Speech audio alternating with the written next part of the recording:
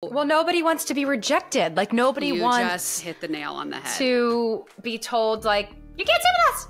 You hit the nail on the head. And I think for a lot of people, it brings you back to a really bad time in your life when you were in school and maybe you were rejected quite often and it's like you you don't even want to open yourself up to feeling those things again, which is totally Mhm. valid. But look at yourself in the mirror and say, I've grown so much since that little girl. Mhm. And say, I have a lot to offer these people. I am much more comfortable in my skin than I was then. And I am a great mom. And I want to share with my child the importance of making friends. Because think of, you know, so much of being a parent is that emulation and what you show to your kids is going to transfer through to them. And if you can put yourself out there and if you can be vulnerable, and you are modeling these good relationships and friendships, then it's going to be so much easier for your child when it comes time. And like, don't you want that for them?